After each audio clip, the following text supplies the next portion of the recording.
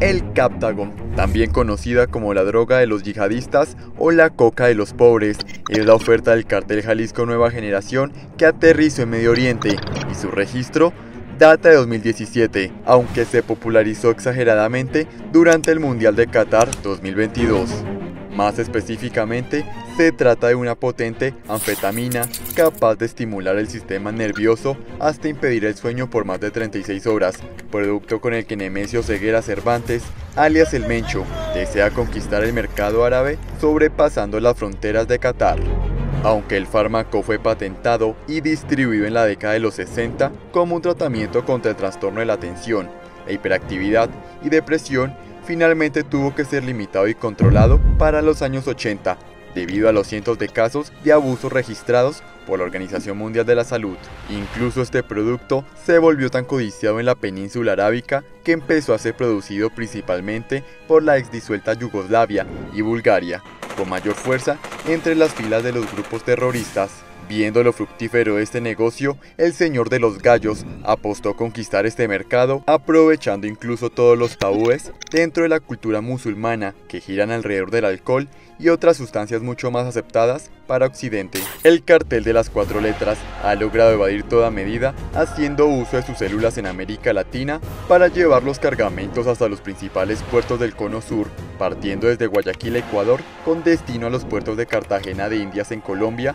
para zarpar a la costa venezolana, con destino a Sao Paulo, Brasil, o directamente al Cabo Verde, para arribar en las costas de Burkina Faso, donde su distribución a países árabes ya sería inminente, aunque se conocen que los principales fabricantes de Captagon de dicha región serían Siria y Líbano, con una producción anual de centenares de millones de pastillas, fue el Mencho quien llegó a conquistar dicho mercado, ofreciendo una nueva manera de distribución. Joan Obdola, experto en narcoterrorismo en el Golfo Pérsico, durante una entrevista para el diario El Milenio, afirmó que el cártel de Sinaloa y el cártel Jalisco Nueva Generación ya establecieron una alianza estratégica desde Venezuela hasta Argentina con Hezbollah. Esto se sabe desde hace años y así van abriendo una serie de mercados con métodos de infiltración y adquisición de propiedades, con los que entran muy fuerte por Arabia Saudita y se van abriendo paso por esta zona del mundo. Por su lado,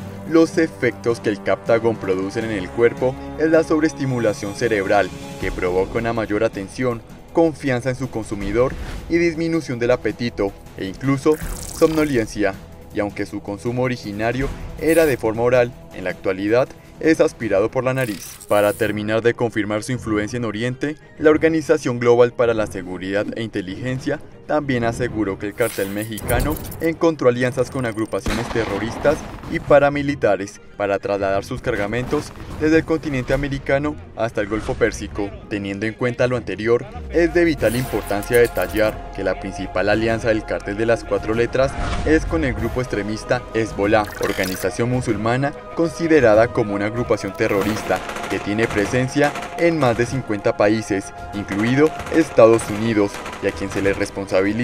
por ser la causante de miles de muertes en la región y de ser un factor de peso en la crisis de violencia en el Líbano, Siria y otros países. A pesar de que los países árabes cuentan con severas políticas antidrogas, incluso castigados con pena de muerte, el señor Mencho ha operado con cautela y de una manera nunca antes vista para esta región. Ya en este continente es donde sus alianzas con Hezbollah les permite usar las rutas de droga que controlan en África y Europa para moverse con gran facilidad a cambio de un porcentaje de las ganancias que genera el mercado de drogas en Oriente Medio que se calcula que superan los 5.700 millones de dólares. Por ahora, ¿crees que el Medio Oriente pasará a ser una nueva plaza del cartel Jalisco Nueva Generación en la búsqueda del Mencho para ser el narco de todos los narcos? Haznos saber tu opinión en la caja de comentarios.